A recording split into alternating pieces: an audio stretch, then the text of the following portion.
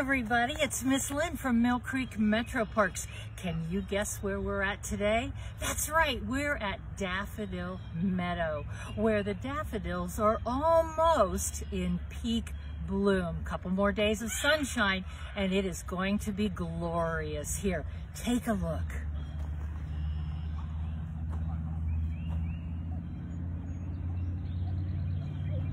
Course, we're on the east side of Lake Newport.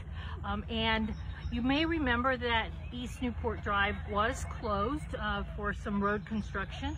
Well, they have opened it up until you get to Daffodil Meadow, so you can drive your car up here um, and come and enjoy the beautiful daffodils, the beautiful uh, coming of springtime. Um, here at Daffodil Meadow, you'll find some interpretive signage. Be sure and, and stop and uh, read the signage. It always gives you some interesting information. A landscape architect, Warren H. Manning, who was a consultant for the Lake Newport design, encouraged large plantings to catch the eyes of the visitors as they toured in their automobiles.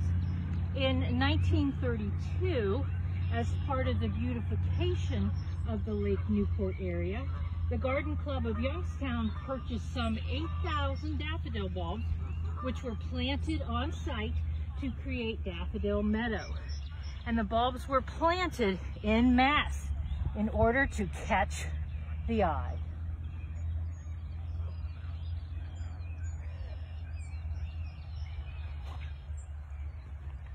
Now, the Garden Club of Youngstown, established in 1915, is one of the area's oldest garden clubs.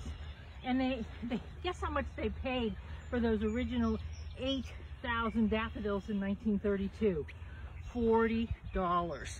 Um, now, improvements were made at, here at Daffodil Meadows back in 2015 and it was again funded by the Garden Club of Youngstown as they were celebrating their 100th anniversary. Here throughout Daffodil Meadow, you'll find some historical varieties of daffodils, Emperor and Empress, hybridized back in, way back in 1869. And there are some older varieties here that can't be identified. Now Brent Heath the owner of Brent and Becky's Bulbs down in Virginia and a daffodil bulb expert, he called Mill Creek Metro Parks Daffodil Meadow one of the best daffodil collections in the country. And back in 2009, Mill Creek Metro Parks was named as a USA Today's top place to see daffodils. There are also daffodils across the, across the road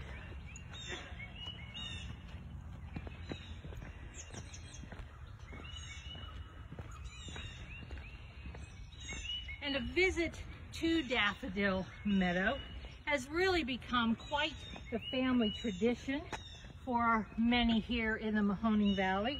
And visitors flock to the meadow to see over 1,000 daffodils blooming at the same time.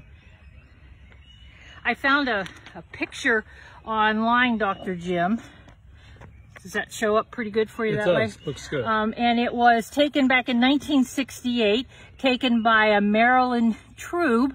Um, and remember when photographs looked like that and they had the date on the side? Well, this is her memory from Daffodil Meadow back in April of 1968. So the next, this next couple of days, this next weekend, we should be seeing some peak uh, daffodils here at Daffodil Meadow. So be sure and come down and visit um, the beautiful array of daffodils here at Mill Creek Metro Parks. Thanks for joining us and we hope to see you again in the park sometime soon. Bye-bye everybody.